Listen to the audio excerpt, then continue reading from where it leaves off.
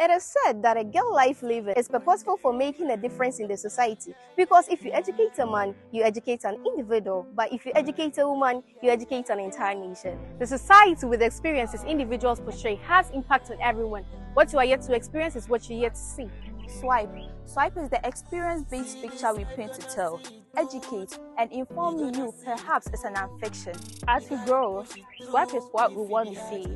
Just because even though we will want to enjoy life, we should be then careful.